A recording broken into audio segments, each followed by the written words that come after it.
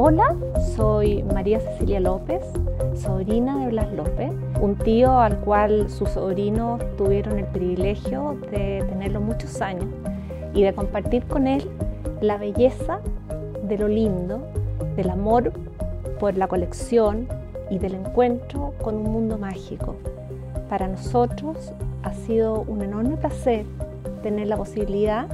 durante largos meses aprovechar estas bellezas y compartirlas entre nosotros, disfrutar los recuerdos. Queridos amigos y clientes de Monji Compañía, les queríamos presentar la tercera subasta del año correspondiente a una colección singular de muebles, pinturas contemporáneas,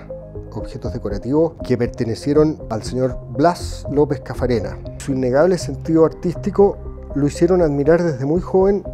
la obra de los pintores chilenos de, su generación, Mata, Tascam, Ricardo Irarrázaval, y en general toda esa vanguardia de escultores como Raúl Valdivieso y Marta Colvin, que fueron los grandes objetos de su interés y que los combinó magistralmente con una colección de grabados que fue adquiriendo en los distintos viajes de placer y de negocio que le tocó hacer en su vida en las mejores galerías de Nueva York y de Buenos Aires y también de Europa,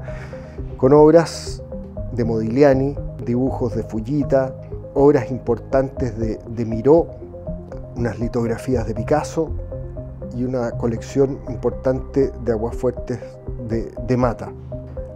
Para montar esta residencia, Blas contó con la asesoría de dos amigos y profesionales durante más de 40 años. Me refiero a la compañía de Omar Mutz, destacado decorador argentino, y Juan Carlos Quintana, que fue el restaurador y el gran gestor de la conversión de esta casa a lo que es hoy día. Invitamos a nuestros clientes y amigos a visitar esta preciosa residencia y su colección, que será subastada por nuestra organización, a partir del día 15 de octubre en horario continuado de 10 a 7 de la tarde hasta el comienzo de la subasta que es el sábado 23 de octubre a las 11 y media de la mañana. Muchas gracias.